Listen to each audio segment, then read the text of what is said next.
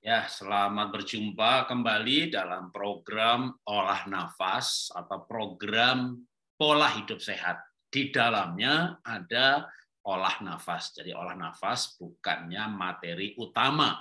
Materi utamanya adalah pola hidup sehat. Maka di dalamnya nanti ada menu makanan, diet yang tepat, olahraga stretching, tapi ketika olahraga stretching pun nanti sambil berolah nafas kecuali yang pola makan gitu ya.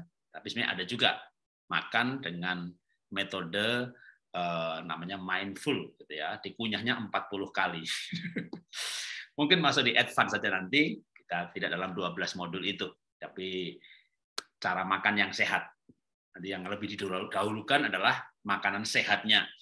Kita akan sampai di situ, tapi pelan-pelan ya bertahap satu minggu satu topik saja supaya yang dipelajari satu hal, yang dipraktekkan satu hal. Kalau tidak sabar soal pola hidup sehat, ya bisa di Google sebenarnya, atau kadang-kadang berkala saya memberikan uh, iklan atau uh, pengumuman mengenai webinar genomic diet diet sesuai dengan keunikan DNA-nya sehingga satu persatu sama dokter nutrisi dan dokter DNA mereka kolaborasi mereka menyusun menu buat Bapak Ibu. Kalau sampai analisa genomic diet.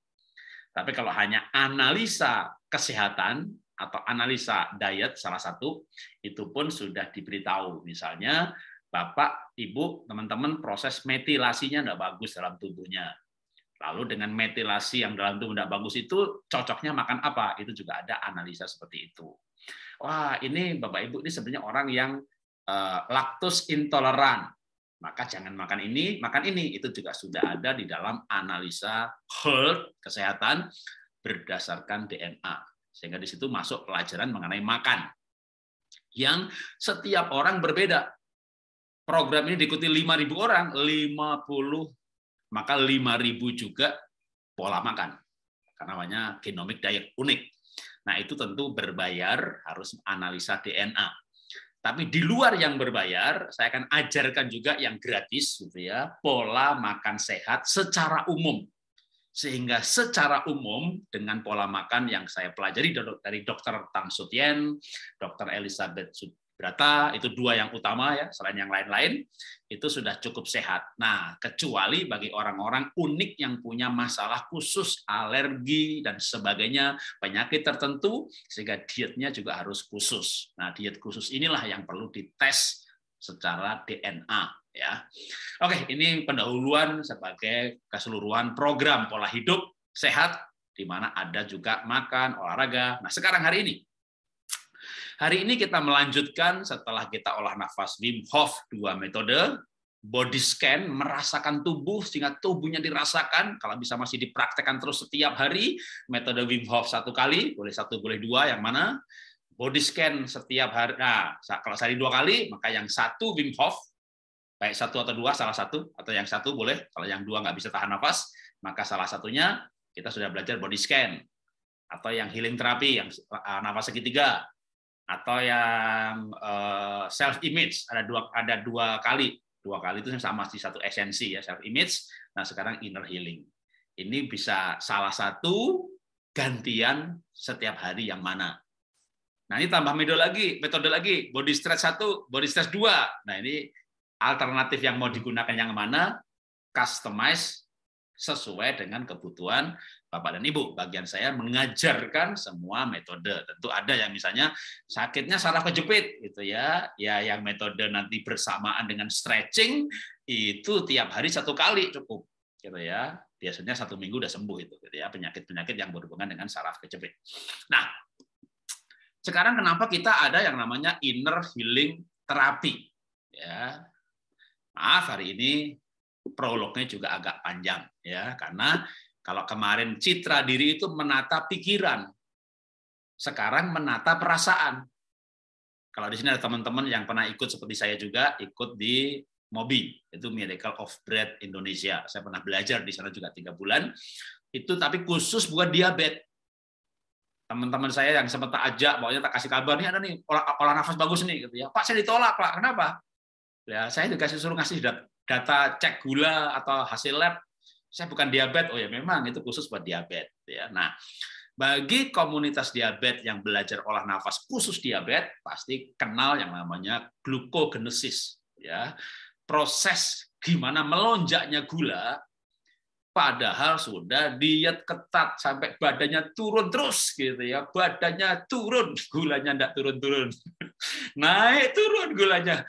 Badan badan turun terus sudah sampai kurus ke mana pergi? Dibilang kamu sakit apa? Kamu sakit apa? Kurus banget gitu ya. Gulanya kagak turun-turun gitu. Sudah makan ketat gitu ya. Malah bukan gula turun asam urat yang naik ya kolesterol yang naik ya sudah olah nafas nih. Begitu olah nafas selesai dites gulanya malah naik. Gimana sih ini? Gitu ya. Itu memang bisa terjadi. Kenapa? Ya semuanya teman-teman yang sudah ikut sama gitu ya. Dengar satu kata namanya glukogenesis. Apa itu? Melonjaknya gula karena faktor pikiran dan perasaan. Saya pernah cerita kalau ibu saya diabetes 3J, jam, jenis, jumlah, ketat banget. Maaf, adik saya pernah kena narkoba, tangkap polisi, ibu saya masuk rumah sakit, gulanya 600. Padahal makannya ketat, dietnya ketat, jamnya pada waktunya. Ketika ada masalah pikiran perasaan, gulanya naik. Nah, pikiran, kita sudah mulai bermain kemarin dalam self-image 1, self-image 2. Mungkin nanti kita akan bisa lanjutkan lagi mengenai mindset atau personality. Ya, tapi kita lihat nanti agendanya apakah dalam kelas ini urut atau nanti berbagai angkatan kelas digabung menjadi satu ya mengenai pikiran. Nah, hari ini saya ingin Bapak Ibu atau mengajak Bapak Ibu teman-teman mengatur perasaan. Ya, mengatur perasaan. Nah, saya kasih pendahuluannya dulu ya, uh, kayak ceramah ya, PowerPoint-nya. Kenapa demikian? Apa hubungannya? Oke, sebelum perasaan, tapi perasaan itu sebenarnya berhubungan ya dengan apa? Dengan hormon yang Bapak Ibu produksi. Otak terima laporan dari perasaan, maka otak akan perintahkan kelenjar endokrin untuk memproduksi hormon-hormon tertentu. Ketika hormonnya kebanyakan atau kekurangan, yang nanti di grup saya akan post ya. Kemarin saya sudah post mengenai hormon adrenalin. Kalau kelebihan sakitnya apa, kalau kekurangan sakitnya apa. Nanti hari demi hari kita akan lanjutkan mengenai hormon dopamin, ya serotonin, melatonin, oksitosin. Waduh banyak banget, tapi nanti cukup hormon-hormon utama saja. Satu hormon itu mempengaruhi beberapa kerja organ tubuh. Maka kalau kita bicara regenerasi sel, bicara kesehatan, sebenarnya tidak bisa lepas dari metabolisme tubuh yang dipengaruhi sama hormon. Ya, dan hormon ini nanti kita hanya akan belajar hormon-hormon yang utama. Nah, makanya ada juga dokter yang mengobati dengan uh, memberikan terapi hormon atau mengatasi hal-hal seperti ini. Akibat hormon ini masalahnya banyak banget, gitu ya. Karena memang manusia ini diciptakan dengan sistem hormonal di mana yang memproduksi secara fisik itu lokasinya di berbagai tempat tergantung hormon apa yang diproduksi tapi dikendalikannya kan dari otak dan dari perasaan. Jadi ada berbagai kelenjar hormonal, katakanlah eh, pankreas saja itu sebenarnya ada berbagai macam hormon, bukan cuma insulin. Ya, nah maka kita konsentrasi, saya akan konsentrasi nanti dalam satu minggu ke depan ngeposting empat hormon ini.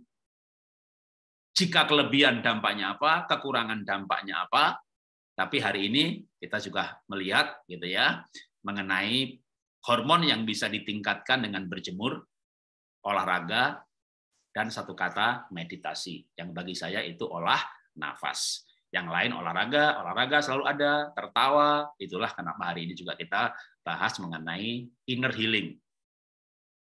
Tertawa ini saya bukan tertawa ya, tapi hati gembira. Karena kalau hati gembira, maka rasa bahagia muncul, bukan tertawa ya. Tahu nggak tertawa tapi hormonnya negatif? Orang yang jahat.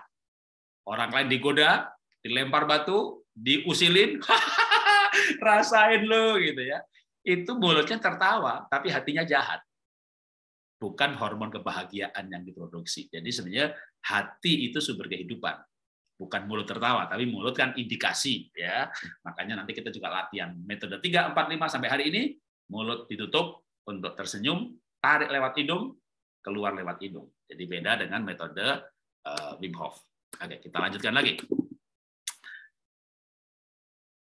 yang kita lakukan hari ini adalah dalam rangka bagaimana kita bisa memproduksi dan menyeimbangkan hormon-hormon di dalam tubuh, terutama hormon-hormon yang namanya dalam kelompok hormon kebahagiaan.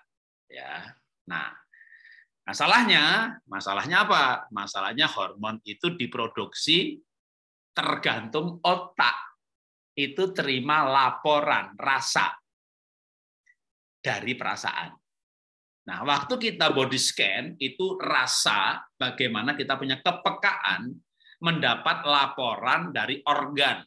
Ya, ginjalnya bilang capek nih, jantungnya bilang capek nih, mompanya keras banget karena lemaknya kebanyakan. Visceral begitu dicek, visceralnya, visceral fatnya tinggi sehingga waktu dia memompa ini harus melawan lemak yang banyak bungkus. Waduh, begitu rasakan nggak enak di jantung, dites itu. Bener Pak, Bapak Ibu ini visceral fatnya ketinggian ya jeroannya ini banyak lemaknya. Ayo turunkan visceral fatnya. Jadi ketika kita merasakan kepekaan laporan dari organ tubuh, kita bertindak membetulkan itu perasaan terhadap laporan organ tubuh. Kali ini kita beda perasaan ya. Kali ini betul-betul perasaan. Rasa dalam arti dalam arti hati. Ya, bukan bukan rasa terhadap respon organ tubuh. Itu tetap terus dilakukan yang namanya body scan. Nanti seminggu bisa dua tiga kali karena kan sekarang ada PR-PR yang lain. Nah, rasa apa di sana ini? Rasa ini betul-betul yang kita akan buang dari tubuh kita adalah rasa kecewa, kepahitan, rasa benci, marah, apatis, rasa jengkel, kesel, marah, nggak suka sama dia, suka nggak suka dia hidup gitu ya, apalagi hidupnya di sebelah anda, itu suami atau istri pasangan, wah susah ya. Ditipu orang lain selesai, nggak ketemu lagi. Nah, namanya suami istri. Sampai ada yang bilang, Pak, Suami saya itu kayak setan, Pak. Kunyuk, Pak. Monyet satu itu. Hidup di depan mata saya tiap hari, Pak. Saya di, mau sembuh gimana, Pak? Luka-luka batin sembuh. Baru sembuh dikit dilukai lagi. Sembuh dikit dilukai lagi. Makanya kita harus menyiasati hidup ini. Ya. Ditipu gampang, ya kan? Bisnis kena tipu kan sekali. Kak. Masa orang ditipu tiap hari? mohon maaf nih, kalau ada orang yang ditipu tiap hari itu mungkin orang yang bilang, yang pinter itu yang nipu, atau yang bodoh yang ditipu. Jadi kalau ditipu itu ya udah mungkin dua tahun sekali ya oke okay lah gitu ya. Itu gampang atasinya luka-luka batin. Nah, tapi kalau menikah itu kan yang melukai itu ya, namanya sleeping with enemy kan gitu kan musuh dalam selimut itu gimana lah sekamar seti serumah tapi itu pun kita akan atasi karena sekali lagi, itu pun juga bisa mempengaruhi kesehatan. Ya, jadi Anda menikahi orang yang bikin Anda sakit. ya, aduh, antara nangis dan ketawa jadi satu, tapi kita akan akan akan bermain ya saya ingin membawa Bapak Ibu pada perasaan yang seperti itu ya bukan perasaan menerima laporan respon organ tubuh. Oke, nah sekarang saya langsung praktis saja. Nanti soal teori-teori hormon ini dan perasaan apa, hormon apa, gunanya apa, di grup dalam bentuk tulisan praktis ya. Nah, sekarang langsung contoh cerita saja. Gimana kita bisa punya perasaan stabil, tenang, damai sejahtera, sukacita, penuh harapan, nggak bergejolak, nggak khawatir, sehingga semua hormon positif ini produksi, Pak.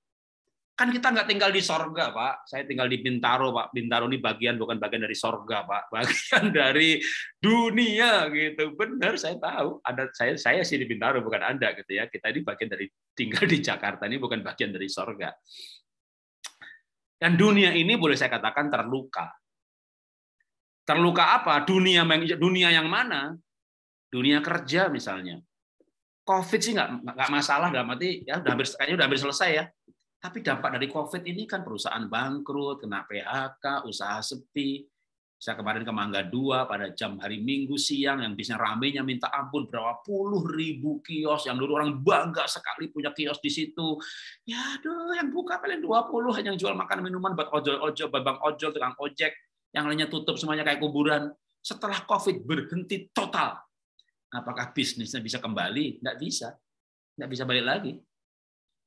Tapi apa yang akan kita lakukan? Kecewa sama pemerintah, kecewa sama keadaan, nyalahkan ini itu. tambah sakit badan kita. Sudah duitnya habis, bisnisnya habis, sakit lagi. Nah, ini yang kita perlu hadapi ini perasaan dari memang dunia yang istilah saya itu dunia itu terluka. Tapi apakah kita akan terluka di dunia yang terluka? Maka saya berikan saya berikan uh, cerita gitu ya. Saya berikan istilah cinta di dunia yang terluka. Hati kita tidak terluka oleh keadaan yang tidak baik. Enak aja Pak Jarod bicara. Ya, yang pasti sebelum COVID aja saya sudah bangkrut. Saya punya usaha namanya IVA, IVA Dasyat, MLM, Multi Level Marketing. IVA itu saya bisnis saya apa sih? Sebelum saya bangkrut, ya kalau sekarang ya itu, itu dua-dua itu lukisan saya, kita jadi pelukis setelah bangkrut. Bisnis saya sepatu, baju, kosmetik. Saya punya member 500 ribu. Saya punya stokis di 200 kabupaten. Saya bukan anggota MLM. Saya pendiri. Saya yang punya perusahaannya dengan 500 ribu member, 10 persen saja, biasanya memang 10 persen yang tutup poin. Tutup poin itu satu orang beli 100 ribu. Anda kaliin 50 ribu, itu omset tiap bulan. Maka ya rumahnya halamannya ribuan meter. Bahkan kongsi saya punya lapangan golf di dalam halamannya sendiri. gitu ya. Kalau saya bangun sekolah di mana-mana, puluhan sekolah saya bangun di berbagai pedalaman, kerja satu bulan bisa makan 3-4 tahun. Sebelum COVID, millennial kills everything jadi sebelum COVID saja usaha saya udah goyah, udah mulai nggak untung lagi, keuntungan dicemplungin semuanya untuk bikin ikut-ikut bikin platform. Kenapa? Karena adanya Salora, Lazada, Shopee, dan Kalapa dan sebagainya menghantam bisnis. Kalau toko sepi itu belakangan, yang sepi duluan kayak usaha saya, yaitu usaha berdasarkan katalog. Kalau di luar negeri mail order, kalau kita MLM dengan katalog, ya kami namanya IVA. Bangkrut, bahkan hutang 17 miliar 2019. Itu juga saya alami gitu ya. Lalu bukan cuma itu saja. Saya masih punya usaha lagi sekolah Happy Kid. Waktu Covid tahun pertama, TKB lulus, TKA naik TKB, playgroupnya nggak ada murid baru, playgroupnya kosong. Saya pikir setahun selesai Covid, tahunnya Covidnya dua tahun. TKB lulus, TKA TKB, TK-nya nggak ada, playgroupnya nggak ada, rugi lagi kerugian 2019 menyisakan aset yang harus kami lepas dengan harga cuma seperlima. Jadi dari harga 140-an itu cuma laku 22 miliar M gitu. Jadi saya ini dalam waktu tiga tahun terakhir itu ruginya bukan cuma ratusan juta ya, ratusan miliar. Orang lain stres, orang lain setruk. Orang lain ada juga yang tidak stres setruk ya, ketawa terus tapi nggak berhenti berhenti, gila. Nah, saya Bapak Ibu bisa lihat muka saya kan, bukan orang gila kan. ini rugi habis-habisan ini. Jadi saya berpikir pensiun untuk go public, lepas saham, uh, go public, lepas saham ke umum, hidup sebagai komisaris, pemegang saham, hidup mulia, berbuat baik. Tapi ternyata saya masa tua, masa umur 60 tahun, saya bangkrut. Bangkrut, krut, Bahkan Maret 2020 setelah memberikan pesangon segala macam habis sampai puluhan miliar, tapi kami bayar semuanya sesuai peraturan. Saya nggak mau ceramah lalu ada orang, Bapak belum bayar pesangon saya, gitu ya. Kemuliaan, nama baik bagi saya lebih penting, walaupun saldo harus habis. Dan Maret 2020 istri saya lapor, kita punya duit hanya untuk cukup, cukup tiga bulan. Sampai sekarang saya belum mati-mati. Jadi menghadapi krisis ini bukan cuma bapak ibu teman yang mengalami gitu ya. Kalau nanti saya bilang bahwa kita harus hatinya tenang, harus bisa bersyukur. Bapak ibu tidak bisa bilang enak aja Pak Jarot ngomong begitu. Saya habis-habisan gara-gara pandemi ini. Jadi yang yang penting apa yang kita lakukan. Jadi waktu saya bangkrut, lalu saya ngapain gitu? Untung aja saya punya ingat masa kecil punya pak. Tapi sudah belasan tahun ya, saya sudah belasan tahun nggak melukis. Tapi saya coba melukis, saya upload di Instagram, saya coba lukis lagi, saya upload di Instagram, saya coba melukis lagi, saya upload di Instagram. Ya, ternyata laku juga. Minggu demi minggu ada yang laku. Lakunya di mana? Instagram. Saya punya Facebook followernya 50 ribu. Instagram 49 ribu. Tapi jarang laku lewat Facebook. Lakunya lewat Instagram. Tahu nggak? Tahun lalu, Instagram saya dihack. Ini kan kayak orang punya toko, tokonya dibakar. Tapi saya belajar untuk tabah. Habis bangkrut, sekolahnya rugi, nombokin tiap bulan, penghasilannya tidak ada, harus nombokin. Perusahaan kita tutup, tapi sekolah saya pertahankan, tapi harus nombokin. Ya, masih bersyukur bisa ngelukis. Tapi dari lukis ini pun juga saya berpikir bahwa talenta itu tidak pernah hilang ya. Cuma selama ini kita sembunyikan, kita nggak kelola. Lalu saya coba melukis lagi, ya ternyata laku juga. Tapi yang saya mau bagikan apa? Bahwa saya juga mengalami masa-masa sulit. Tapi bagian kita tuh apa sih? Ya bagian kita itu bekerja saja udah. Berapapun hasilnya, dulu bisnis hasilnya banyak, sekarang lukis hasilnya bisa makan seminggu, dua minggu, ya kita harus mengatur perasaan kita. Kalau kita nggak atur perasaan pikiran kita, saya saya melihat ibu saya tergeletak di rumah sakit kena stroke karena gulanya 600. Makan udah bener, olahraga udah bener. Tapi karena anak ditangkap polisi gitu. Nah, saya gimana coba caranya menghadapi itu dengan hati yang tenang? Ya kalau ibu saya anak, saya perusahaan bangkrut, saldo habis. Bahkan saldo istri udah lapor nih, kita cuma tinggal tiga bulan. Apalagi yang nanti mau dimakan sebagai orang madam masa pensiun tentu hati bergejolak, tapi tarik nafas, ya kan, nafas dari Tuhan, buang kekhawatiran, tarik nafas kehidupan, percaya Tuhan pelihara, itu yang kita bisa atur dengan lebih tenang. Kalau enggak, kita, nah kalau enggak kuat gimana? Ya kita lanjutkan dulu ya, sebelum kita praktek. Mohon maaf kalau agak panjang pendahuluannya dunia bisnis terluka karena keadaan COVID misalnya. Ada lagi yang bisa terluka, yang ini yang mungkin paling berat ya saya bilang pernikahan. Bisnis ya bangkit lagi Pak. Tapi kalau layangan putus gimana Pak? Si Kinan nabung ya kan? Pengen banget nanti bisa pergi ke Turki sama suami gitu. Eh tabungannya udah banyak. Eh Aris naik balon sama Lydia. Aduh, sakitnya di sini, Pak. Saya nabung, Pak. Saya nabung, Pak. Untuk pergi sama suami bulan madu. Suami pergi sama orang lain. Kalau Bapak bisnis ditipu, yang nipu kan nggak muncul, Pak. Ini yang menyakiti hati, Pak. Di depan mata saya setiap hari. Tapi sekali lagi, hidup ini kan pilihan. Dan hidup itu juga konsekuensi dari pilihan dan keputusan yang pernah kita lakukan. Saya tidak mengatakan ini mudah ya. Justru namanya menata, menata hati itu nggak mudah. Makanya kita butuh latihan. Ya, Saya tidak mengatakan menata hati itu mudah. Bahkan ini, kalau luka hati itu saya ibaratkan sama lukanya koreng. Jadi ibu nih ada bapak teman-teman ini ada yang luka hati. Kalau ingat gimana? Ser, itu ulu hati bisa kayak ketusuk-tusuk. Dan bukan cuma ulu hati ya, pinggang bisa sakit. Jadi itu itu luka, itu koreng. Kalau Anda punya koreng, gimana caranya? Tutup plester Pak Jarot, tambah bernanah. Tambah bernanah. Ketika luka itu sudah membusuk, luka itu sudah bernanah, ada bakteri di situ, datang ke dokter, dikasih anti sakit, ditekan, dibuang nanahnya, dikeluarin darahnya, baru diobatin, baru diplester. Nah, ini kan luka luka koreng. Kita hari ini inner healing, luka-luka batin.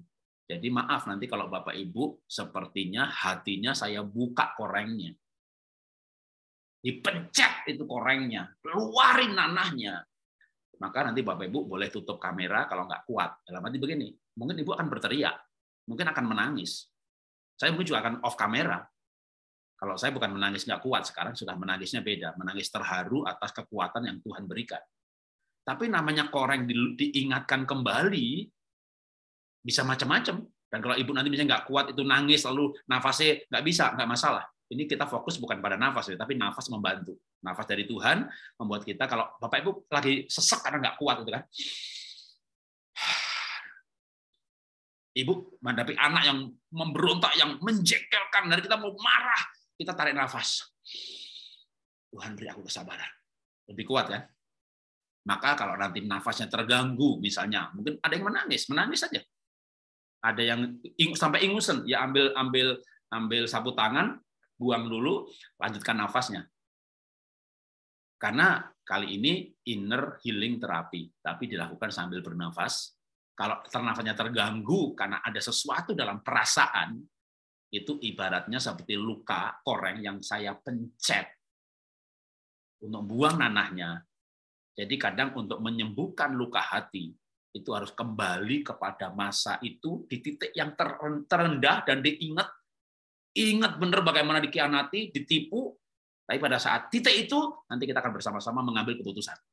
Jadi mengambil keputusan itu pada titik yang terendah. Sehingga kalau nanti ingat lagi, itu tidak akan luka lagi. Karena kita pernah ada di titik itu, dan kita mengambil sikap hati. Karena kalau ini nggak diselesaikan, banyak penyakit itu sumbernya dari hati. Banyak, nggak semuanya tentunya ya. Kalau mindset karena makan makanan kotor ya kita minum diabetes ya apa apa stop thread ya sembuh. Tapi terlalu banyak penyakit yang berhubungan dari masalah hati. Nanti di grup hormon-hormon apa mempengaruhi kesehatan apa, nah hormonnya itu dipengaruhi sama perasaan. Kita lanjutkan dulu inventarisnya luka-luka apa yang mungkin tiap orang berbeda-beda. Bisa tadi misalnya bapak-bapak yang bisnis karena mengalami penipuan, mengalami kebangkrutan, usahanya hancur, ditipu orang lagi, yang nipu adik lagi, yang nipu teman lagi, dan sebagainya. Itu namanya luka hati karena dunia bisnis yang terluka. Tapi mungkin luka hati karena dunia pernikahan yang terluka. Terlalu banyak pengkhianatan. Siapa yang melukai hati Anda? Bukan saya kan, ketemu cuma seminggu sekali. Kemungkinan terbesar yang melukai adalah orang yang terdekat. Kalau Anda Anda Anda sama orang itu tidak suka, lalu orang itu nipu, orang itu selingkuh, Anda nggak terluka kan? Tapi Anda menghormati seseorang, anda kagum. Ternyata dia korupsi. Anda kecewa. Kenapa? Anda kagum. Ada anak tetangga gitu, maki-maki Anda, Anda nggak sakit hati. Anda punya anak sendiri yang Anda besarkan, atau anak angkat yang Anda biayai seperti anak sendiri, lalu maki-maki, makin sakit, makin kita mencintai, makin kita sakit. Makin kita menghormati orang itu, makin kita kecewa. Dan kecewa, sakit hati itu yang membunuh sel-sel kita, membunuh saraf kita, membunuh hormon kita. Hormon kita bergejolak karena gejolak perasaan dan hormon kita tidak seimbang. Ketidakseimbangan hormon itulah yang mengguncang kerja-kerja berbagai organ tubuh. Jadi kalau hari ini kita olah nafas kali ini, memang kalau paling bagus bisa di kamar, kalau tutup kamar atau di tempat yang yang yang cukup sepi gitu ya, tidak ada karena mungkin Bapak Ibu ada yang akan hanyut oleh perasaan. Itu wajar. Karena memang kita sedang bermain di perasaan tapi untuk membetulkan perasaan. Nah, apa pun sumbernya. Termasuk misalnya luka hati karena pasangan. Ya, kita lanjutkan lagi. Yang melukai ini bisa orang terdekat, orang-orang yang kita cintai, orang-orang yang kita hormati, ya orang-orang yang kita sayang justru itu yang karena kalau anda nggak menghormati nggak mencintai ya anda coba ya ya begitulah orangnya gitu. Anda tidak terluka. Sebaliknya ya sebaliknya. Pak Jarod kuat banget ya menghadapi pencobaan hidup ini.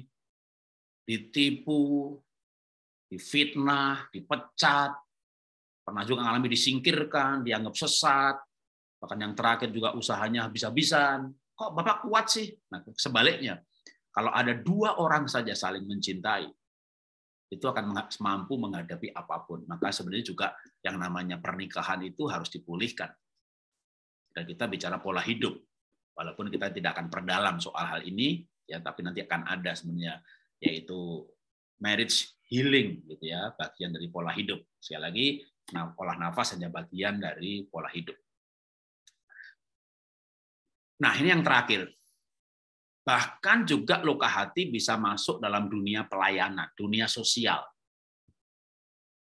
Teman-teman, Bapak Ibu misalnya aktif di lingkungan, di RW, di yayasan, di partai. Ini bukan pekerjaan, ini dunia pelayanan yang tentunya kita berharap di situ tuh ya saling menghargai, saling menghormati, ya, mendapat kebahagiaan, rasa berarti.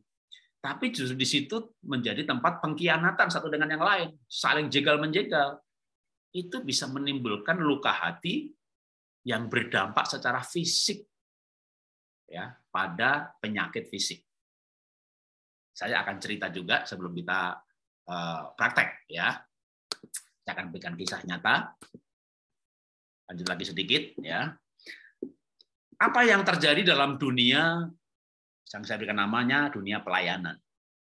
Dunia pelayanan ini bisa lingkungan, sosial, bahkan bisa juga di agama ya masuk dalam uh, aktivitas masjid, gereja, yang termasuk kelompok-kelompok pelayanan. Justru terjadi pengkhianatan, penyingkiran, penghakiman, lalu terluka. Saya akan berikan cerita saja sebelum saya masuk yang terakhir ya. Bapak Ibu, tahun 90 saya merantau ke Jakarta dan sekaligus saya mengabdi. Ya, saya sebut mengabdi karena nggak digaji pada sebuah lembaga sosial keagamaan. Jadi tidak digaji sama sekali.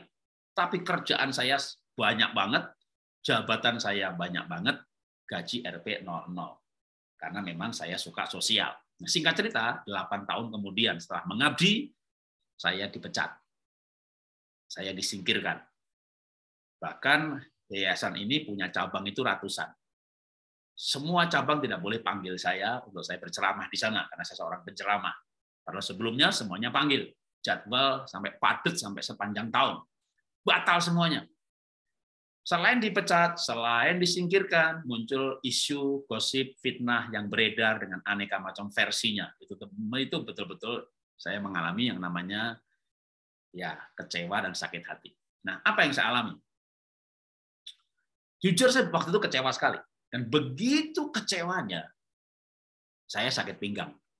Jadi tahun 98 itu kan umur saya baru 35. Ya, 30 ya saya tahun 63 ya, umur saya baru 35.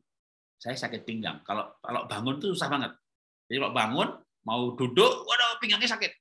Jadi akhirnya belajar kalau bangun tidur itu gerakin kaki dulu, lalu duduk di pinggir kasur, aduh sakitnya minta ampun. Akhirnya dikasih saran temen, begitu duduk, dipasang korset. Kayak orang habis hamil melahirkan, bukan hamil ya, habis melahirkan, habis operasi misalnya melahirkan, supaya perutnya kempes kembali, dipasang korset yang ada magnetnya tapi ya magnetnya membantu darah lancar. Jadi posisi saya akan tubuhnya lurus terus. Noleh sakit, jadi saya nggak bisa setir mobil sendiri, umur 35. Kalau ke kantor berjalan dipanggil, ya gitu, balik lagi karena kalau ini begini sakit, jadi ini badan nggak boleh belok. Sakitnya minta ampun. Singkat cerita, saya ke rumah sakit Pertamina. Setelah mencoba rumah sakit ortopedis, segala macam ke Pertamina, rumah sakit Pertamina untuk di scanning MRI. Dan dokternya berkata dengan jelas, Pak, lihat Pak, Bapak sarafnya kejepit di tulang nomor sekian, jepitnya dalam banget Pak. Terus gimana sembuhnya? Ya kalau dalam kondisi seperti ini tidak bisa tidak Pak, harus dioperasi. Saya ketakutan untuk operasi, saya cukup berani. Dulu saya sebagai orang miskin, kalau dikasih 5 ribu aja suruh tidur di kuburan, saya tidur. Saya nggak takut setan. Orang miskin itu nggak takut setan, takut lapar, gitu kan? Karena kalau lapar bisa mati. Nah, saya disuruh operasi, itu malah saya takut. Kenapa? Saya orangnya takut darah. Istri saya itu hamil tiga kali, saya hamili, melahirkan tiga kali, saya pingsan tiga kali eh, ya pak dua kali karena yang nomor satu saya nggak nggak nggak nemponi. Jadi nggak nggak menjaga nggak nggak nggak nggak lihat anak saya lahir. Padahal saya baca baca artikel gitu ya ternyata bapak yang baik itu akan punya hubungan baik dengan anak lebih dekat lagi kalau dia bisa melihat anaknya lahir. Kedua istri punya kekuatan lebih ketika didampingi orang yang dicintai. Jadi saya anak nomor satu merasa bersalah karena saya keluar kota nyusul ke rumah sakit udah lahir. Nomor dua nomor tiga waduh istri saya melahirkan susternya bilang, Bapak, Bapak, Bapak bukannya pucat. Memang harus mukoyangan. Bapak duduk, Bapak duduk. Gitu. Lalu saya duduk di rumah, di situ udah berkunang-kunang. Untung aja susternya bilang, tarik nafas, lepaskan. Tarik nafas, tahan sebentar, lepaskan. Dikasih aba-aba, saya ikuti ya kan? Gitu. Sampai akhirnya susternya bilang, Pak, Pak, Pak, itu aba-aba buat ibu untuk melahirkan, bukan buat bapak. Pantas terakhirnya tahan, dorong. Kenapa pakai dorong? Suruh dorong anaknya. Saya pingsan Bapak Ibu, lihat darah. Tahun 86 saya lulus IPB, melamar pekerjaan, wawancara segala macam. Bapak, Mas sudah lulus ya, tinggal tes kesehatan. Nanti hasilnya bawa ke sini dalam amplop tertutup jangan dibuka. Saya diambil darahnya waktu tes kesehatan pingsan. Tapi hasil analisanya ternyata bagus. Saya sudah sempat khawatir, wah nggak diterima nih diambil darahnya aja pingsan gitu. Ternyata saya takut darah. Itu bukan cuma 87, tahun 90, 98, 2000, 2012, mau asuransi kesehatan, diambil darahnya, pingsan juga. Dengan kondisi seperti itu, saya nggak berani operasi. Gimana dioperasi? Ngambil darah di kita pingsan. Waduh, itu saya betul-betul gimana, tapi sakitnya minta ampun, namanya sakit pinggang. Singkat cerita, Sampailah saya pada pelajaran yang saya sampaikan hari ini. Jadi yang pelajaran inner healing ini panjang ceritanya, karena ini kejadian tahun 98, dan saya belajar pada masa-masa itu, bahkan masa-masa sebelumnya mengenai inner healing, luka-luka batin, dampaknya pada kesembuhan fisik. Nah, waktu saya ke dokter, ya solusinya adalah dioperasi. Istilahnya saya mencari pengobatan alternatif. Ya, nah ketemulah saya kalimat dari kalau yang Muslim berkata Nabi Sulaiman. Saya baca kitab Amsal, hati yang gembira obat yang manjur, koma, tetapi semangat yang patah mengeringkan tulang. Kenapa saraf saya kejepit? Karena tulangnya mengering. Kenapa mengering? Karena saya patah semangat. Saya kecewa sekali. Saya mengabdi dan saya disingkirkan. Saya mengabdi dan saya dipecat. Saya mengabdi dan saya dibuang. Saya kecewa. Tapi ketika saya tahu bahwa kekecewaan itu mengeringkan tulang saya, menjepit saraf saya. Waktu itu saya betul-betul saya, saya sakit. Saya, kecewa sekali. Lalu saya mengambil keputusan, Tuhan, aku memberkati, aku mengampuni. Saya lepaskan kekecewaan, saya buang kepahitan, saya ganti, saya doa memberkati. Ada kelegaan yang luar biasa, dan saya mau saksikan sampai hari ini tubuh saya tidak disentuh oleh meja operasi. Waktu itu ada yang bilang, nanti kambuh lagi loh Pak kalau Bapak sembuh kejepit itu dalam banget. 98 sampai hari ini pinggang saya tidak kambuh-kambuh. Saya sehat, saraf kejepitnya lepas, bahkan ada bonusnya. 98 ke belakang, 82 saya kuliah, saya pakai kacamata. Tapi waktu saya mengalami perubahan hati, saraf saya sembuh, bukan cuma sakit pinggang saya hilang, mata saya sampai hari ini normal. Lihat jauh, lihat dekat bisa. Makanya ngelukis bisa teliti. Dulu pakai kacamata. Saya mengalami kesembuhan mata. Itu saya belum mengenal olah nafas. Tapi saya sudah mengenal yang namanya olah hati, di mana saya sakit hati, kecewa, dan saya sakit, di mana saya di titik yang terendah, saya mengampuni. Kalau ingat lagi nggak ser. Dulu kalau ingat itu rasanya kayak ser gitu ya.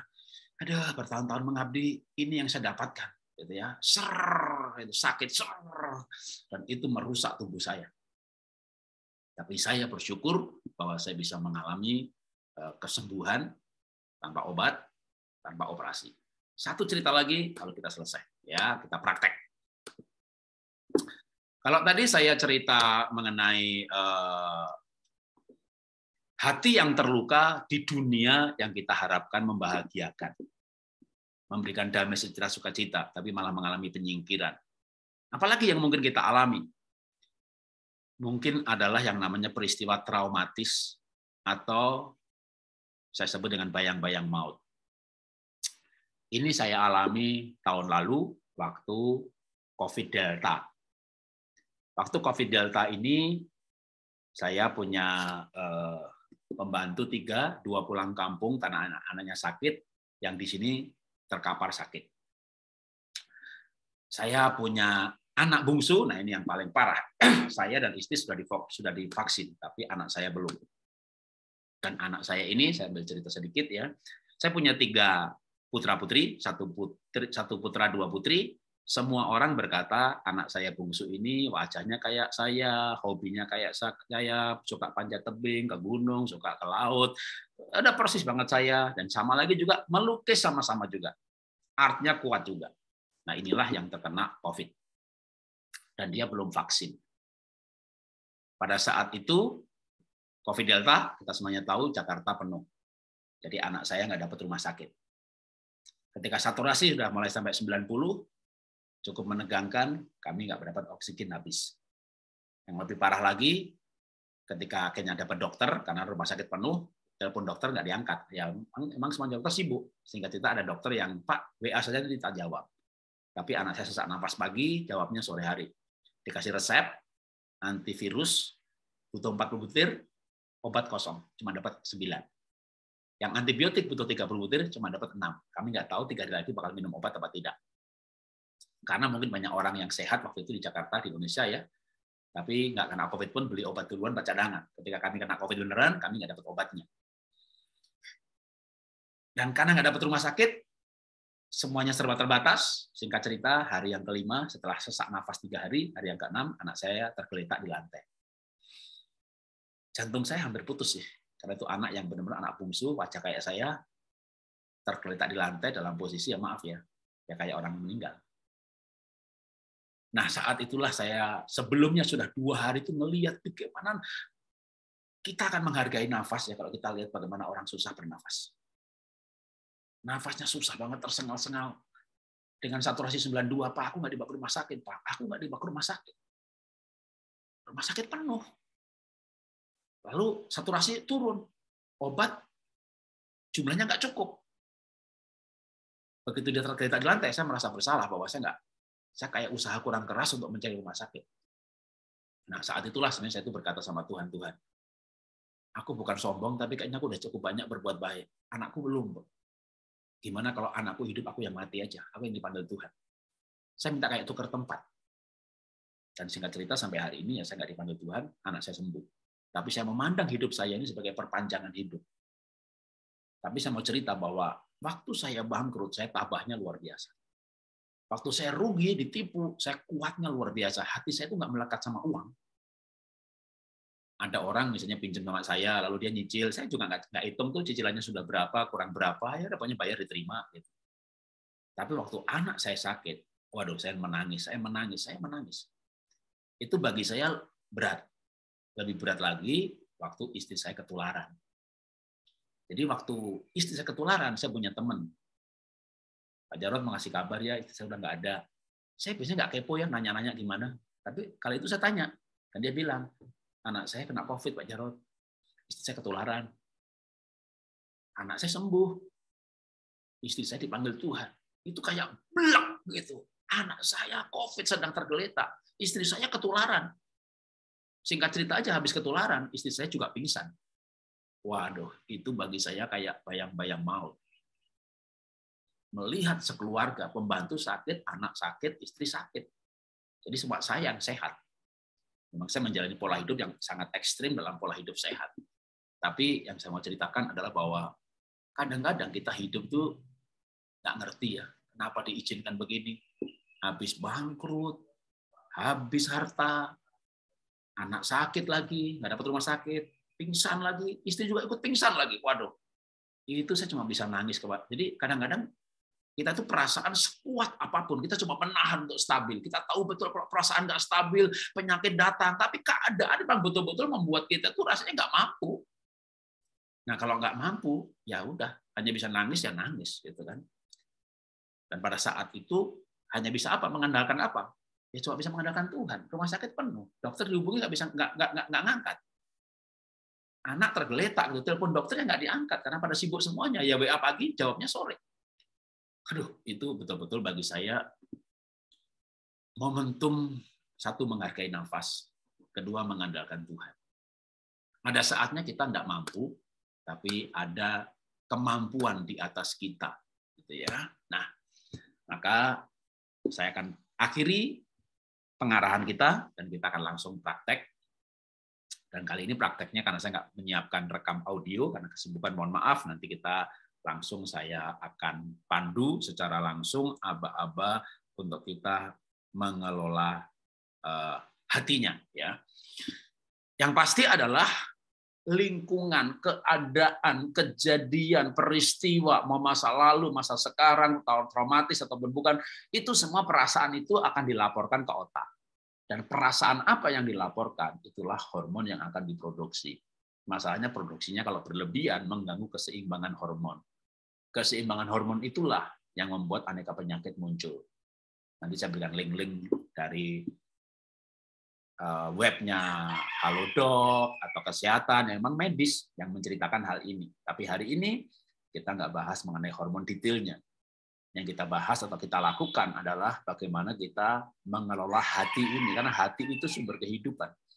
Mau agama apa saja saya yakin bisa mendapatkan ayatnya bahwa hati itu sumber kehidupan. Karena itu kita akan kelola hati kita. Posisi secara teknis sama.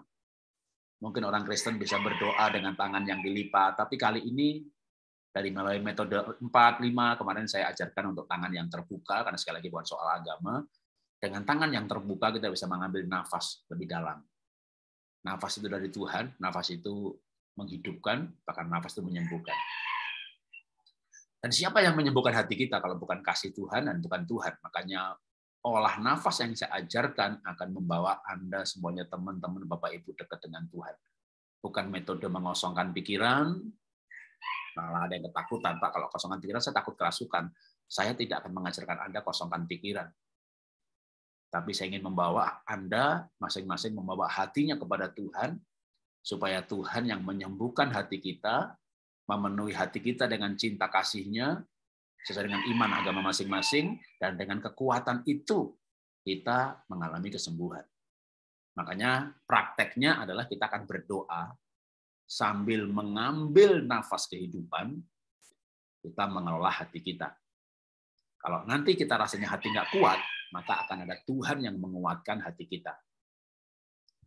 Saya diingatkan kisah yang juga lintas agama ya, atau dalam arti agama samawi. Mohon maaf untuk yang Hindu Buddha mungkin tidak mengenal cerita ini. Tapi dalam Islam ada Nabi Ayub. Di Kristen juga ada kisah Ayub. Ayub itu kan mengalami sakit. Badannya seluruhnya sakit. Lalu Ayub ini punya teman, namanya Elifas, Bildab, Sofar, Elihu. Nah, temannya itu dari empat, tiga itu memberikan kata-kata label. Kamu pasti berdosa menghakimi. Sehingga Ayub pernah kecewa dengan sahabatnya yang tiga, Elifas, Bildab, Sofar. Bahkan Ayub pernah berkata bahwa sebaiknya kamu tuh ngalami seperti yang aku alami. Karena Ayub mengalami malapetaka dan sakit. Singkat cerita, Ayub ini bisa mendoakan teman-temannya yang tidak menolong dia, yang tidak bantu, yang menghakimi tadi. Artinya apa? Ayub mengampuni teman-temannya. Dan cukup menarik. Setelah Ayub berdoa untuk sahabatnya, itulah Ayub disembuhkan, mengalami kesembuhan. Bahkan ditulis Ayub itu hidup 120 tahun lagi. Jadi mengalami regenerasi sel yang luar biasa, kesembuhan yang luar biasa, sampai ditulis hidup 120 tahun lagi. Ya, artinya Ayub mengalami pada masa yang sudah cukup umur, di mana nggak cukup umur, anaknya sudah 10 dan mereka sudah dewasa semuanya. Tapi itu terjadi setelah Ayub mendoakan sahabatnya. Sahabat mana? sahabat yang dia kecewa karena ada cerita yang menyatakan Ayub kecewa dengan tiga sahabat ini kecuali Elihu yang baik. Jadi melepaskan pengampunan itu membawa kesembuhan. Baik cerita saya waktu saya sakit pinggang, mau cerita Ayub, mau cerita yang lain-lain, banyak cerita, tapi mari kita jadikan itu bukan cerita orang lain. Saya ingin Bapak Ibu jadi punya cerita bahwa saya sakit dan saya sembuh. Saya saya berbagi cerita karena saya ingin mengajak Bapak Ibu juga punya cerita mengenai kesembuhan. Kesembuhan banyak metodenya, bisa obat, bisa olah nafas, bisa diet, tapi juga ada bagian dari perasaan. Hati yang akan menentukan kesehatan. Karena itu mari kita mulai. Mau bikin sebentar, saya minum dulu.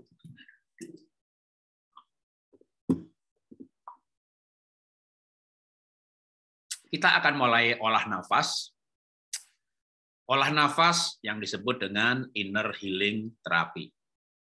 Kita sambil bernafas, kita akan membawa kesembuhan pada batin kita, pada hati kita yang selama ini mungkin bergejolak, tidak stabil, menjadi stabil. Ya, kita mulai dengan bernafas terlebih dahulu satu dua menit, nafas eh, pelan-pelan, uh, ya Antara 5 sampai 10 saya ambil tengahnya aja 8. Setelah beberapa kali bernafas pelan-pelan, maka lanjutkan bernafasnya dan saya akan memberikan instruksi untuk mengolah uh, hati ya. Boleh mulai dengan doa sesuai dengan iman dan agamanya masing-masing. Ya Tuhan, kami mau mengatur hati kami, kami bawa hati kami kepada Tuhan. Kami tidak bisa lepas dari Tuhan, karena Tuhanlah yang memiliki nafas kehidupan kami. Tuhan ambil nafas kehidupan kami, kami berhenti hidup. Karena itu sambil bernafas kami mengingat Tuhan yang memberikan nafas kepada kami. Kami akan mulai olah nafas dan olah hati yang kami beri nama inner healing therapy. Kita mulai dengan tarik nafas. Kita mulai tarik nafas. Satu, dua, tiga, empat, lima, enam, tujuh, delapan. Lepaskan pelan-pelan, tarik lewat hidung, lepas lewat hidung. Mulutnya tersenyum ditutup, matanya juga ditutup. Tarik nafas. Satu, dua, tiga, empat, lima, enam, tujuh, delapan. Lepas. Satu, dua, tiga, empat, lima, enam, tujuh, delapan. Tarik nafas. Satu, dua, tiga, empat, lima, enam, tujuh, delapan. Lepaskan. Satu, dua, tiga, empat, lima, enam, tujuh, delapan. Tarik nafas. Satu, dua, tiga, empat, lima, enam, tujuh, delapan. Lepaskan. Satu, dua, tiga, empat, lima, enam, tujuh, delapan. Bapak Ibu terus bernafas dengan metode itu. Karena saya tidak ikut praktek tarik nafas lepas nafas, saya matikan kamera saya. Tapi Bapak Ibu terus bernafas, dan saya akan memberikan aba-aba instruksi untuk kita mengolah hati. Terus bernafas pelan-pelan lewat hidung, nikmati aliran udara, oksigen mengalir penuh ke paru-paru. Lepaskan lewat hidung, CO2 keluar. Tapi kita percaya nafas kehidupan dari Tuhan. Kita sudah berlatih lewat olah nafas sebelumnya. Saturasi bisa naik luar biasa, bahkan hingga 99 atau 100, dan tubuh menjadi alkali. Tapi kali ini, sambil mengambil nafas kehidupan, nafas yang dari Tuhan, kita alirkan oksigen atau nafas kehidupan ke hati, perasaan, yang secara fisik juga itu ada di otak kita, otak tengah, otak kecil, sistem limbik, karena memang kompleks sekali sistem otak. Dari otak ini, suasana di otak, suasana perasaan, bisa mempengaruhi denyut jantung sehingga hati kita berdebar-debar atau hati kita tenang. Terus ambil nafas pelan-pelan dan mulai lepaskan pelan-pelan. Kita mulai mengatur hati kita. Kita mencoba untuk melepaskan, membereskan, menyelesaikan. Kalau ada masalah-masalah hati, seperti menjadi alam bawah sadar kita namanya alam bawah sadar tanpa kita sadari, tapi itu ternyata mempengaruhi hidup kita. Mempengaruhi kelenjar, mempengaruhi hormon, mempengaruhi kehidupan. Perasaan kita mempengaruhi hormon, hormon kita tergoncang, tidak stabil, dan muncul dalam bentuk sakit-sakit yang muncul, gula yang tidak stabil, susah tidur, insomnia, stres, gampang gelisah, keringat dingin keluar, mudah berkeringat, dan sebagainya. Dan hari ini kita mengambil nafas kehidupan dari Tuhan, kita membawa hati kita kepada Tuhan. Bapak Ibu bisa memeriksa hati apakah ada luka di sana. Bisa luka apa saja. Kecewa, kepahitan, marah, dendam, dikhianati, sehingga muncul sikap-sikap dari hati yang terluka. Menjadi apatis, malas, cuek, gak punya pengharapan, Luka hati bisa muncul dalam bentuk sikap memberontak, diem, tertutup, malas bicara. Karena trauma, kalau berbicara akan bertengkar, dan malah disakiti lagi. Tapi ketika manusia tidak berbicara, isi hatinya nggak pernah dikeluarkan, tidak punya teman bicara, dan menjadi masalah-masalah hati lainnya. Teman-teman bisa periksa hatinya, saya tidak tahu hati teman-teman, tapi teman-teman datang kepada Tuhan dan terbuka kepada Tuhan. Tuhan ini hati saya. Jujur Tuhan, saya penuh dengan kekecewaan terhadap keadaan ini, pandemi ini. Saya kecewa sama pemerintah, lamban, tidak tegas. Apalagi saya terkena dampak, bangkrut, PHK, susah. Ini tidak murni kesalahan saya, tapi kesalahan ini dan itu. Dan teman-teman, Bapak Ibu dipenuhi hatinya dengan kekesalan, kekecewaan dengan keadaan. Kita coba mengambil nafas dalam-dalam. Nafas kehidupan. Dan kita mulai mencoba untuk melihat keadaan ini, masalah ini sebagai tantangan. Sekaligus sebagai peluang untuk keluar sebagai pemenang karena keadaan yang dialami oleh orang di seluruh dunia yang namanya dampak dari COVID. Masalahnya kita akan meresponi seperti apa, dan atas respon kita itulah hidup kita akan dipengaruhi. Hari ini kita menata hati untuk meresponi ini tanpa menyalahkan siapa-siapa, apalagi menyalahkan diri sendiri. Kita mengambil sikap seorang pemenang, dan kita akan menghadapi hidup sebagai seorang pejuang yang mengatasi keadaan.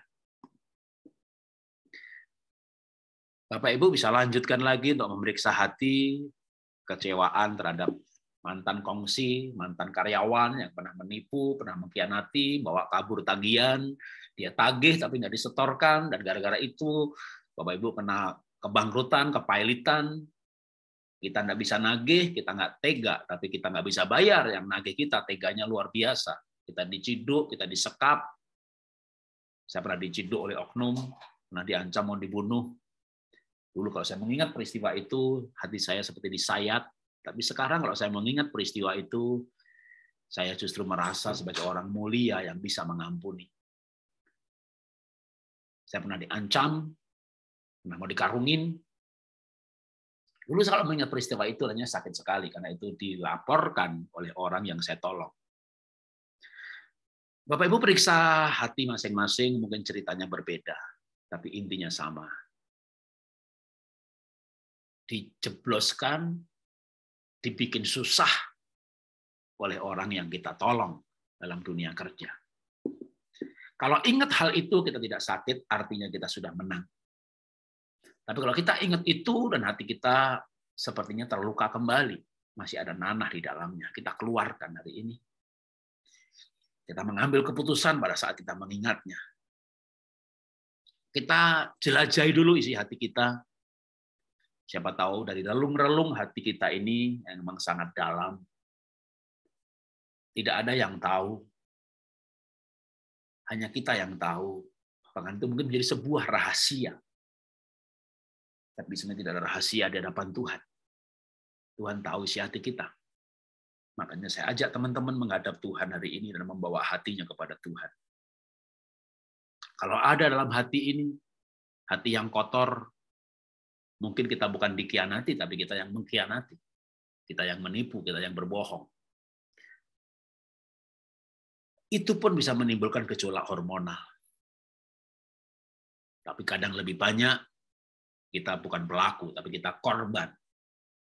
Kita dikhianati, kita disingkirkan. Kita lanjutkan penjelajahan kita, hati kita yang cukup banyak adalah dunia keluarga. Entah kita sebagai anak, sebagai orang tua. Banyak orang tua sakit kepala karena perilaku anaknya. Kalau dibawa ke dokter, tidak ada virus, tidak ada amuba. Kenapa pusing? Karena pikiran. Dengan olah nafas, olah hati, tentu anaknya belum berubah. Tapi perubahan hati kita akan disanggupkan dan dimampukan menghadapi perilaku orang lain tanpa sakit kepala. Karena kalau kita sakit kepala menghadapi perilaku orang lain, entah itu suami, istri, anak, orang tua, mertua, kita akhirnya menjadi korban bahwa kita mengalami masalah kesehatan, padahal yang punya perilaku orang lain. Dengan berpola pikir ini, kita mencoba untuk menata hati kalau anak menjengkelkan, namanya anak, kita lahir duluan. Kenapa kita tidak mendidiknya dengan sabar? Kalau anak angkat mungkin terasa lebih menyakitkan lagi. Tapi apa pilihan kita? Maka kita menata hati untuk memandang keadaan. Jangan sampai justru badan kita mengalami kerusakan kesehatan karena perilaku orang lain. Kita menata hati terutama untuk menyembuhkan, terutama kalau ada luka-luka hati yang tersembunyi yang kita tidak sadari bahwa luka itu ada. Yang muncul adalah perilaku-perilaku. Anak orang tua lebih mudah diselesaikan, yang lebih sulit adalah pernikahan. Itulah kenapa angka perceraian cukup tinggi di Asia. Bahkan sebenarnya juga cukup tinggi juga di Eropa dan di Amerika. Bahkan melebihi 30-40 persen atau antara 30 sampai 40 persen dari total pernikahan berujung dengan perceraian. Tentu saya tidak akan mempertanyakan alasan masing-masing. Tapi data itu hanya untuk menunjukkan bahwa betapa banyak luka di dalam pernikahan. Pemulihan pernikahan kita ambil sesi tersendiri yang sebenarnya bukan soal pernikahan, tapi soal personality, kepribadian. Karena kalau kepribadiannya pulih, nanti pernikahan dan hubungan-hubungan, masalah relasi dengan orang lain juga akan pulih dengan sendirinya. Kita akan ada ada sesi mengenai personality. Tapi hari ini kita bawa hati kita kepada Tuhan. Ambil nafas dengan metode pelan-pelan.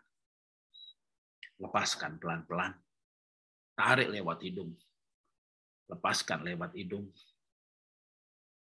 Waktu kita mengingat peristiwa-peristiwa itu, maka kalau seperti luka yang diingat kembali gara-gara duduk diam dan diberikan pengarahan ini menjadi teringat.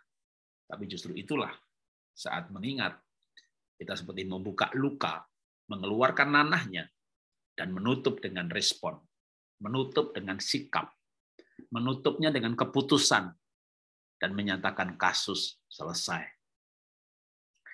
Bagaimana penyelesaiannya? Kita tunggu sebentar, kita lanjutkan, kita mengambil nafas kehidupan dari Tuhan. Waktu kita nggak sabar, kita bisa bertambah sabar dengan mengambil nafas. Karena mengambil nafas membawa kesadaran. Saat kita hampir tidak kuat, kita mengambil nafas, maka ada seperti kekuatan dari nafas kehidupan, karena dengan mengambil nafas, oksigen masuk ke otak, kita menjadi logis. Sedangkan waktu kita mengingat perasaan, kita tidak logis, kita hanya dalam perasaan. Tapi perasaan diperlukan supaya kita bisa menjadi manusia yang ada empati, simpati. Tapi perasaan yang terluka membuat empati, simpati rusak. Maka perasaan kita akan sembuhkan Ambil nafas dalam-dalam, lepaskan pelan-pelan. Masih kembali soal hati luka, melukai, dan terluka di dalam keluarga. Bukan orang tua, tapi dalam pernikahan. Banyak orang hidup menjadi panutan atau tokoh masyarakat. Tapi di dalamnya sebenarnya keropos dan tidak bahagia. Bahkan di rumah sudah bisa ranjang, bisa kamar, tapi keluar rumah hidup dalam kepura-puraan untuk menjaga image atau branding. Betapa menderitanya orang yang hidup dalam kepura-puraan. Karena itu kita mencoba untuk menginventaris, menjelajahi hati kita. Kalau ada kekecewaan dengan pasangan, pengharapan yang tidak dipenuhi, merasa direndahkan karena tidak dihormati, merasa tidak dicintai karena nggak diperhatikan. Semua itu adalah fakta dan kenyataan. Kita tidak menyangkal kenyataan. Bahkan kalau Bapak Ibu berkata bahwa pasangan saya melakukan KDRT, itu sebuah kenyataan. Tapi yang saya mau kasih tahu atau ajarkan atau berbagi cerita, berbagi sikap adalah dengan fakta dan keadaan itu, apa respon kita? Kita bisa mengasihani diri sendiri dan menjadi korban, merasa jadi korban yang menderita dan segala penyakit datang. Atau kita mau menghadapi kenyataan itu sebagai sebuah fakta dan keadaan yang kita akan hadapi. Terus ambil nafas pelan-pelan, lepaskan pelan-pelan. Kalau ingat mengenai perasaan yang saya ilustrasikan, seperti bayi anak kita. Perasaan kita itu seperti anak kita, bayi kita yang kita gendong. Kita akan gendong bayi kita, apa pun perilakunya. Demikian juga dengan perasaan ini. Kalau kita ingat, kita bisa benci, kita bisa marah, kita bisa teriak, kita bisa menangis, tapi perasaan itu melekat pada kita, kita gendong perasaan kita, kita jaga perasaan kita, kita rawat perasaan kita. Akhirnya kita bisa menguasai perasaan kita. Seperti seorang anak yang menangis yang kita gendong. Akhirnya akan pada sampai di mana anak itu kita bisa kendalikan. Demikian juga dengan perasaan ini.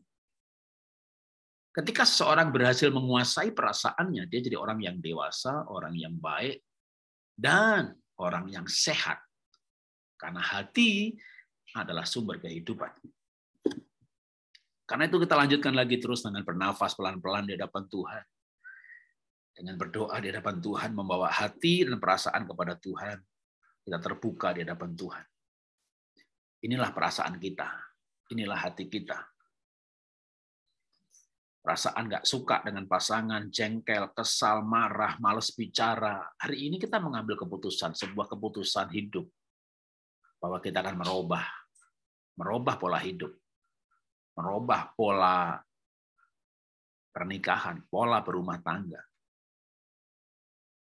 Mungkin tidak mudah kalau bahkan sudah sampai pada hubungan yang rusak, nggak saling mencapa, nggak saling bicara, makan aja berbeda-beda, satu makan, satu di kamar, satu keluar, satu masuk kamar, yang lain baru makan. Saya berdoa berharap Bapak Ibu tidak punya situasi seperti itu. Tapi kalau punya situasi di mana membuat hati terluka, dengan yang kita lakukan keadaan tidak berubah, belum berubah. Tapi hati kita berubah. Hati kita kita coba kendalikan. Dan kita memilih untuk hidup sehat karena punya hati yang sehat. Kita memilih untuk punya gula yang stabil, tidak mengalami glukogenesis, karena hati kita stabil. Karena hati kita tenang, sekalipun keadaan menggelora seperti badai. Sekalipun ekonomi kita seperti roller coaster, tapi hati kita kita kendalikan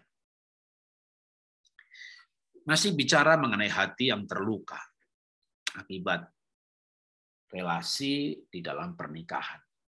Yang memang paling banyak luka, melukai dan pengkhianatan, kekecewaan adalah pernikahan. Karena tinggal bersama dalam satu rumah, orang yang kita cintai, kepadanya kita memberikan hidup.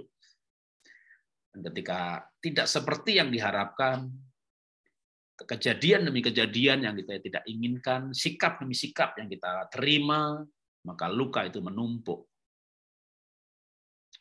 Ada saatnya kita buang sampah. Hari ini kita buang sampah di hati kita. Kita boleh simpan dolar, kita boleh simpan cerita baik, tapi sampah kita buang. Kita lanjutkan dulu sebelum kita masuk dalam langkah penyelesaian. Saya sudah teringat, Pak, tapi gimana cara menyelesaikannya? Saya hanya mengulang sebenarnya apa yang saya sampaikan di dalam pendahuluan tadi, tapi kita sambil memeriksa hati kita. Bukan dalam dunia keluarga, tapi dalam dunia yang lain, dunia pelayanan, dunia sosial, dunia agama, dunia masyarakat yang kita masuki. Apakah peristiwa-peristiwa traumatis pada masa lalu, kejadian-kejadian yang tidak diharapkan pada masa lalu, dan itu belum selesai di hati kita tanpa sadar itu membawa kita pada perilaku yang tertutup, tidak mau bergaul lagi, kita trauma untuk berbuat baik, baik menolong ataupun ditolong, kita trauma untuk berhubungan dengan orang lain. Sepertinya tidak berhubungan dengan kesehatan, tetapi kalau kita belajar mengenai hormonal, maka perasaan, hati, pikiran sangat berhubungan dengan keseimbangan hormonal. Karena itu kita mau mencoba betul-betul belajar untuk punya hati yang clean, yang bersih, dan selesai. Selesai di hati, keadaannya belum selesai, utangnya belum lunas, anak mungkin masih malas belajar, Mertua apalagi tambah susah untuk dikendalikan dan perilakunya nggak bisa dididik. Didik anak gampang gimana didik mertua atau pasangan. Tapi sekali lagi, hati ini harus selesai di dalam diri kita. Ambil nafas lagi, terus lanjutkan. Kita akan masuk di bagian lalu bagaimana menyelesaikannya kalau saya sudah sejak pendahuluan tadi pun sudah mulai menginventaris Iya, saya mengalami pengkhianatan. Iya, saya disingkirkan. Iya, saya difitnah. Iya, saya kecewa dengan pemerintah. Iya, saya kecewa dengan tetangga. Saya kecewa dengan keadaan. Bahkan sekarang ini kami sedang disomasi dan menghadapi masalah. Masalah harus dihadapi, pengadilan harus dijalani, tapi kita hadapi dengan hati yang beres. Masalahnya bagaimana kita membereskan hati? Bukannya ini metode justru hanya membuat kita menangis, teringat masalah, lalu kita terluka kembali. Tidak. Kita akan menyelesaikan bagaimana menyelesaikannya. Kalau kita dalam masuk dalam sesi yang bisa disebut meditasi atau doa, mengingat masa lalu, maka saya jamin teman-teman, Bapak Ibu semuanya bisa mengingat semuanya. Bahkan mungkin mengingat sangat detail bagaimana muka orang itu waktu maki-maki kita. Kita bisa mengingat bagaimana waktu dia meledek dan kita nggak mengerti penderitaan kita. Daya ingat akan begitu jelas apa yang saya mau sampaikan. Yang saya mau sampaikan bahwa di otak kita tidak ada fungsi delete. Komputer bisa mendelete file, tapi dalam otak kita, di hati kita, tidak ada fungsi delete. Makanya tidak ada cara di muka bumi ini untuk melupakan masa lalu. Omong kosong dan bohong kalau ada orang yang mengajarkan bisa melupakan atau memberikan ajaran lupakan, lupakan, lupakan. Mana bisa kita melupakan? Otak kita tidak ada fungsi delete. Bapak Ibu bisa mengingat kejadian tahun lalu, 10 tahun lalu, 20 tahun lalu, 30 tahun lalu. Bahkan mungkin yang seorang sudah menikah dan berumur, mungkin dulu pernah punya pacar, tunangan, sudah persiapan menikah dan batal. Itu sudah puluhan tahun pun kita akan bisa mengingatnya. Otak kita tidak ada fungsi delete. Kita tidak mungkin melupakannya. Lalu apa yang kita bisa lakukan? Ambil nafas dalam-dalam kembali. Saya ingatkan untuk kita mengambil nafas dari Tuhan. Lepas nafas, bawa hati kepada Tuhan karena sungguh kekuatan tertinggi dan terbesar adalah kasih Tuhan. Ketika kita mengingatnya, kita tidak bisa melupakan. Maka yang bisa dilakukan adalah keputusan untuk mengampuni. Hanya itu. Keputusan untuk mengampuni. Dan setan akan berbisik. Setan akan berbisik. Enakan dia dong diampuni. Enakan dia dong. Kan dia harus dididik juga Memang tidak mudah keputusan untuk mengampuni.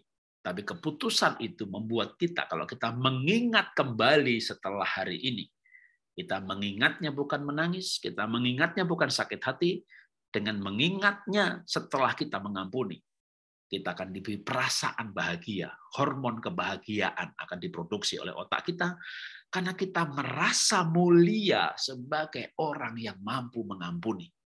Kita kan bukan cuma merasa, karena memang kita betul-betul menjadi orang yang mulia. Orang yang sanggup mengampuni. Bahkan mungkin dibilang kita bodoh ya, kayak kamu bukan bodoh, kita mulia, kita baik hati. Jadi kita tidak bisa melupakan. Mana bisa kita melupakan? Mungkin kita mencoba melupakan, tapi tanpa sengaja di mall kita ketemu orang yang menipu kita. Kita bisa sakit hati kembali, kita menghindar. Kalau kita sudah mengampuni, waktu kita ingat kembali kita bisa berkata, Tuhan terima kasih, aku sudah mengampuni, aku orang mulia, aku orang paling bahagia di muka bumi, karena aku mengambil keputusan mengampuni. Kalau aku ingat hal itu, makin jahat orang itu, aku makin sadar betapa aku sekarang punya hati yang mulia. Maka yang terjadi bukan hati yang tersayat, tapi hati yang bahagia. Kalau toh sama-sama menangis, kita bukan menangis sedih. Kita menangis secara perasaan, kita teringat hal-hal yang menyakitkan. tapi kita menangis karena kita sudah diubahkan. Hati kita sudah berubah. Karena itu kalau hari ini kita mengambil, boleh diberikan nama meditasi, olah nafas, atau beri nama saat teduh, kita mengingat peristiwa-peristiwa traumatis, kejadian-kejadian yang tidak diharapkan, kebangkrutan, kebakaran, ditipu, dan di titik seperti itulah kita mengambil keputusan. Karena tidak ada fungsi delete. Tapi kita mengambil keputusan. Untuk menganggap, mengampuni, bahkan yang tertinggi kalau sampai mengalami kehilangan harta benda adalah melepaskan hak. Bukan berarti kita tidak boleh ke pengadilan atau membayar tagihan, tapi kita lakukan itu sebatas sebagai sebuah urusan dunia di mana kita punya piutang ya kita tagih. Bahkan mungkin orang lain yang menagih dengan cara-cara mereka dalam koridor hukum sehingga tidak ada serangan balik atau tuntutan balik. Tapi hati kita sudah ada sebuah kepasrahan. Hati kita selesai walaupun kita tidak bisa melupakan. Saya pernah beli tanah sebelum rumah yang sekarang ini hampir 1000 meter di Bintaro sektor 1 yang nilainya kalau sekarang bisa 10 miliar lebih karena satu meter sekarang sudah di atas 10 juta. Dan ditipu. Dikapling orang lain diakui orang lain bermasalah. Tetap terus menagih tetap terus mengurus bulan demi bulan tapi singkat cerita tahun demi tahun tanpa ada hasilnya. Saya punya pilihan untuk marah, kecewa, dendam, mengutuk, atau saya memilih untuk melepaskan hak. Dalam arti kita suami istri berdoa itu kita anggap memang sudah tidak ada. Kalau kembali ya bersyukur nggak kembali nggak apa-apa. Tidak mudah karena nilainya besar sekali. Tapi saya bisa dihantui masa lalu saya bisa ditahan oleh masa lalu saya dan saya menjadi bermasalah dalam hidup saya. Tidak mudah, sekali lagi tidak mudah, tetapi itu keputusan yang saya ambil. Termasuk waktu saya sakit pinggang, bukan hal yang mudah untuk mengambil keputusan untuk memberkati dan mengampuni. Teman-teman saya mengalami penyingkiran yang tidak seperti saya alami. Mereka keluar bikin sendiri, keluar bikin sesuatu yang menyaingi yang lama, dan berbagai kisah lainnya. Tapi saya mengambil keputusan untuk tidak pindah ke mana-mana, tetap di lembaga itu sampai hari ini, sampai bahkan akhirnya saya dipulihkan kembali ketika akhirnya organisasi melihat mendengar cerita yang sebenarnya, tapi itu tidak singkat, empat tahun kemudian. Selama empat tahun hidup dalam fitnahan, lembah air mata, dicemooh, dan disalah mengerti orang. Tapi saya mengalami kesembuhan waktu saya melepaskan pengampunan. Sampai hari ini saya tidak kambuh lagi. Jadi sebuah keputusan untuk menyiasati keadaan. Karena keadaan ini kalau tidak disiasati, hati adalah sumber kehidupan. Tentu kita sakit, kita bisa obati sesuai dengan resep dokter karena itu memang bagian dari ranah medis yang saya tidak mengajarkan lepas obat sampai dokter melihat perubahan kita dan mungkin menyarankan penurunan dosis. Itu adalah ranah kedokteran. Tapi kita juga belajar bahwa kesehatan dipengaruhi oleh perasaan, oleh pikiran. Apalagi penyakit-penyakit tertentu yang pengaruhnya bisa lebih besar daripada soal makan, minum, dan olahraga. Karena itu hari ini kita kembali untuk mengolah hati kita, mengolah perasaan kita. Kita mengambil keputusan dalam hidup ini, keputusan yang tidak mudah, Bapak Ibu. Kadang untuk mengambil keputusan itu kita perlu ambil nafas dalam-dalam kita tarik nafas, kita minta kekuatan dari Tuhan. Bahkan mungkin kita berdoa, Tuhan, aku nggak mampu, aku nggak sanggup. Terlalu menyakitkan Tuhan. terlalu menyakitkan. Peristiwa itu terlalu menyakitkan. Itu masa lalu yang aku nggak mau ingat lagi, tapi hari ini aku jadi ingat. Dan itu menyakitkan. Kita boleh jujur kepada Tuhan, Tuhan aku nggak sanggup, aku nggak mampu. Tapi kita minta kesanggupan dari Tuhan. Kita minta kekuatan dari Tuhan. Dan pasti sang pemberi nafas kehidupan itu akan memberi kekuatan. Karena Tuhan tidak pernah mencobai orang melampaui kekuatannya. Tapi kalau kita tidak mengandalkan Tuhan, kita tidak akan kuat. Kita tidak akan sanggup sehebat apa pun, serohani apa pun, sepinter apa pun, sebijaksana apa pun, seberapa luas pun kita mungkin bahkan dokter psikologi sekalipun. Betapa meng, meng, mengenaskan atau menyedihkan kalau seorang dokter psikologi mati dalam kekecewaan. Tapi karena memang ilmu psikologi tidak akan menyanggupkan seseorang untuk melepaskan pengampunan. Untuk membereskan masalah hati. Seperti seorang dokter pun kalau tidak menjaga kesehatan bisa sakit. Atau atau dokter yang tahu bahwa rokok itu tidak sehat tapi dia merokok. Karena pengetahuan berbeda dengan apa yang dijalani. Tapi saya percaya teman-teman Bapak Ibu mengambil keputusan untuk menyelesaikan masalah hati, maka akan ada kelegaan, ketenangan, damai sejahtera, sukacita yang melampaui segala akal, meluap-luap dari hati ini seperti aliran sungai kehidupan. Dan itu menyembuhkan. Kenapa menyembuhkan? Saya akan posting di WA Group mengenai hormon dan perasaan. Dan apa pengaruh hormon? Hormon itu terhadap organ-organ tubuh. Luar biasa pengaruh hormon di dalam mengendalikan organ-organ tubuh. Organ-organ vital lagi. Tapi hormon itu diproduksi oleh kelenjar endokrin, oleh berbagai eh, organ dalam tubuh kita, sangat dipengaruhi oleh perasaan dan pikiran kita.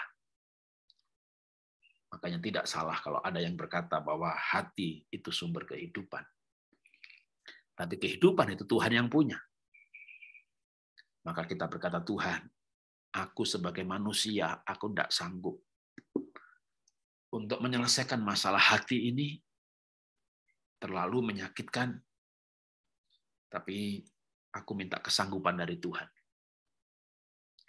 Dalam kasus-kasus perceraian, tentu sudah bercerai, bahkan mungkin si mantan sudah menikah lagi, Bapak Ibu juga sudah menikah lagi, Bukan berarti kita kembali kepada si mantan, tetapi kita hidup dalam damai, tidak ada kecewa, kepahitan, kebencian terhadap si mantan. Kita tidak menyak, ma, ma, saya tidak masuk dalam masalah ranah penyelesaian secara fisik atau hukum, tapi secara hati kita selesai.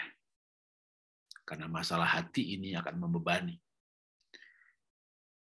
Ada kejadian seorang suami yang selingkuh dan istrinya kepahitan. Lewat kepahitan itu tubuhnya tidak alkali lagi, hormon epinefrin bekerja, dia kecewa, dan kecewanya itu memicu pertumbuhan sel kanker. Jadi orang lain yang selingkuh, orang lain yang berdosa, tapi karena kita respon kita kecewa kepahitan, kita jadi sakit. Tentu saya memahami kalau setiap pribadi akan bercerita, gimana saya nggak kecewa Pak, saya dikhianati. Saya memahami, tapi saya mau katakan bahwa kecewa tidak menyembuhkan. Kecewa itulah yang membuat penyakit muncul. Maka yang saya mau katakan bukan mengampuni itu mudah, tapi mengampuni itu harus. Kita mengambil keputusan untuk hal itu. Kita masuk bagian penutup dari olah nafas hari ini mengenai pemulihan hati, kembali kepada ritme olah nafas, bisa tarik pelan-pelan, lewat hidung, lepaskan pelan-pelan. Kita bisa relaksasi olah nafas. Saya akan berikan apa-apa untuk bernafas. Tarik satu, dua, tiga, empat, lima, enam, tujuh, delapan. Lepas satu, dua, tiga, empat, lima, enam, tujuh, delapan. Tarik lagi satu, dua, tiga, empat, lima, enam, tujuh, delapan. Lepas, satu, dua, tiga, empat, lima, enam, tujuh, delapan. Lanjutkan beberapa kali untuk mengakhiri dengan tarik dan lepas nafas. Kita mulai kendalikan perasaan kita. Dan kita mulai bernafas pelan-pelan. Bapak Ibu bisa ulangi kalau ada masalah yang sepertinya belum tuntas untuk kembali bernafas pelan-pelan dan menyelesaikan masalah hati. Tapi kali ini kita berhenti, relaksasi, boleh sambil bernafas. Kalau duduk di kursi, telapak kakinya diangkat, atau seperti cinjit-cinjit sebentar. Boleh menggerakkan tangannya seperti meremas-remas kalau tangannya serasa kaku. Boleh menggoyang-goyangkan telapak tangan, ataupun mengambil nafas dengan tangan diangkat, sehingga dada mengembang penuh. Hati yang sesak seperti longgar waktu kita mengambil nafas dengan tangan diangkat. Dada kita mengembang. Dan lepaskan lagi. Apa pun yang di teknik dilakukan, maka kita melakukan pernapasan relaksasi untuk membereskan, menyelesaikan nafas hari ini. Terima kasih.